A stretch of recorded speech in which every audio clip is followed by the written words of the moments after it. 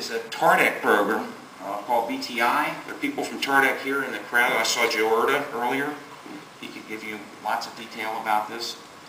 But this uses a pair of Strykers, 18-ton platforms, and this loop that was used down at Fort Gordon for testing, the blue areas represent where, where, where the guys had GPS coverage at the beginning of the mission, and as the mission progressed, you see that, that the GPS coverage is dramatically reduced. This is just due to the shifting constellation of the satellites and these column-like effe- effects from the local uh, trees and topography. So in this instance, you've got a manned leader with its own radar. It's looking for uh, the road, and it's also looking for major features near the road, which it sends as reference points to the follower. The follower can, can use the GPS INS data that's on the vehicle. It's being sent back to the follower in real time, and does do that in real time.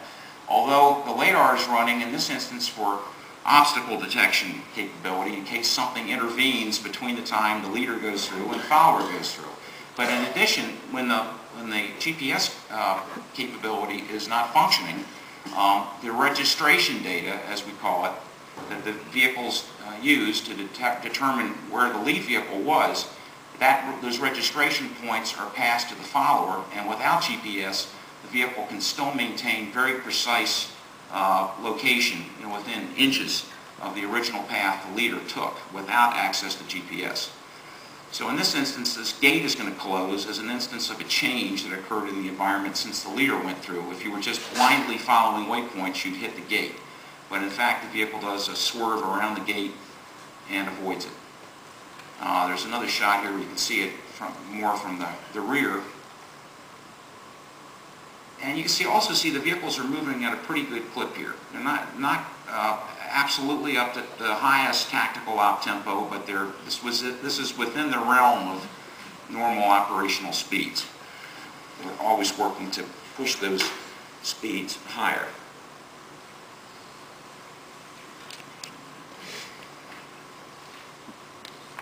Uh, One of the earlier field tests of ANS this took place, uh, and again, in a convoy mode, uh, but in this instance, the lead vehicle is autonomous, and the follower is following in a convoy mode. Uh, a moment here, you'll see, this is the shot through the windscreen of the lead vehicle. This takes place at Fort Bliss, and as you'll see, uh, dust is a major problem at Bliss. These are obstacles that have been set up ahead of the bot. You can see them and this is a tactical truck that has one of the working generations of ANS uh, located on it. And you see the big cloud of dust that appears uh, behind the vehicle as it approaches the obstacle field. And again, with ANS, the sp- speeds are higher uh, than they were with the earlier tech-based systems. The, the radar can see further, and it's just generally a more a more mature uh, system. In a moment, the scene shifts to a following mode of operation. If you look over here, here's the follower. So he's contending with a lot of dust generated by the leader.